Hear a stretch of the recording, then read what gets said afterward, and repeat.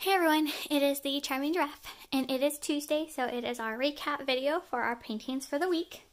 So we're going to start with the one we did last Wednesday. This was a, the um, flip cup um, ice cube tray flip um, using the rainbow colors. This is the one where I did like red in both and then put orange on top. And I did orange in both and put yellow on top of that. Then I did yellow and put green and green and then put blue, blue, purple, purple, pink, all the way down. Um, beautiful. Um, my dog's gonna start barking here in a minute. Um, I'm just gonna turn it sideways just to make it easier to bring up to the camera. But on this red and orange, there's not a lot of contrast, but there still is a lot of like cell action through here. So it's really pretty.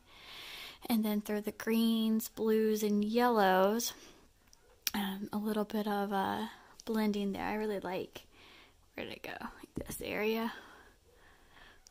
With these little cells that have, I'm like trying to make them bigger for you. that doesn't work in real life.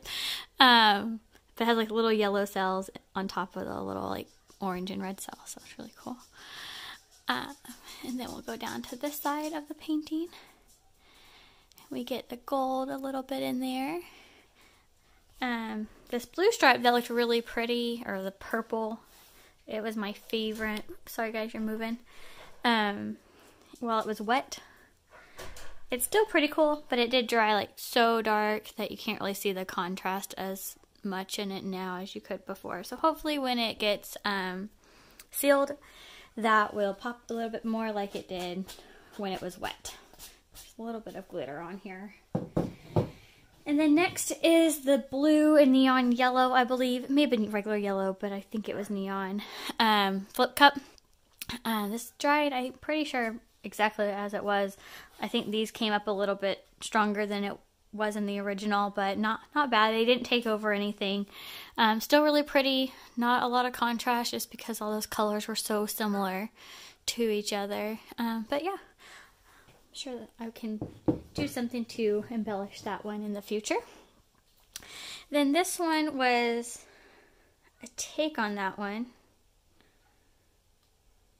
I think this was next. I might have these out of order, but I think this one was next.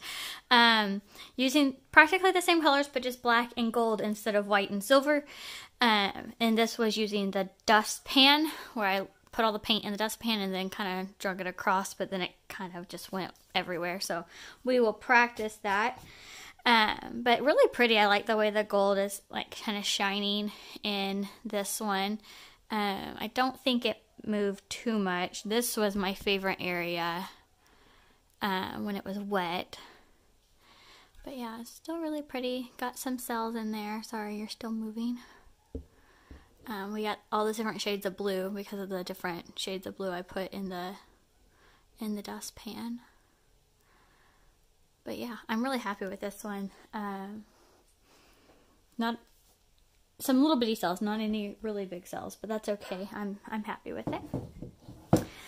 And then this was the one, it was a clean pour with the um, paint from Apple Barrel and mixed with glue and water instead of with Floetrol and water. And uh, this is just a clean pour where I just poured it out of the container straight onto the canvas and then just moved it around. Um, I love the way this turned out. Much more cells came up than what it looked like when it was drying. I think that was a drip. Sorry, we think that was a drip there and there. Not a big deal. And they're actually almost center with each other, so it was really cool. Uh, still got a little bit of um of that those colors blending together. Um, this white almost kind of looks like it's like floating on top, like like smoke or something.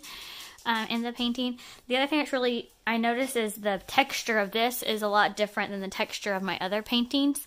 Um, so I made I don't know if that's because of the glue or if that's because of the apple barrel paint. So I may um, do some tests with apple barrel paint and Floetrol and then glue with the um, Artist Flow acrylic and see what those differences are on the texture because I like this texture a lot better. Um, it just feels smoother. I'm not sure. Uh, but that was that one. And then next is the bottle bottom pour using a different bottle bottom than normal. It's got more um, crevices. Sorry guys, keep bumping you. It's got more crevices to make these designs. Um, this is also the one where I pulled the paint out of the middle using the syringe. I still have that paint in the syringe, so we will be using that in a future painting. Um, but there was still too much paint on the canvas. It did run off on this side, and then it did push back and kind of hug this line. It never actually went over that line, but it did kind of hug it.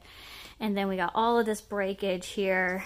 Um, similar, I think like nearly every week we have at least one painting that has where there's too much paint on the canvas, so it like breaks apart. Um, so yeah, um, that's okay though, because I do have some things I want to do with this. Um, if you remember, we couldn't really get the yellow in the middle, so this opens it up to where you can put some yellow in the middle.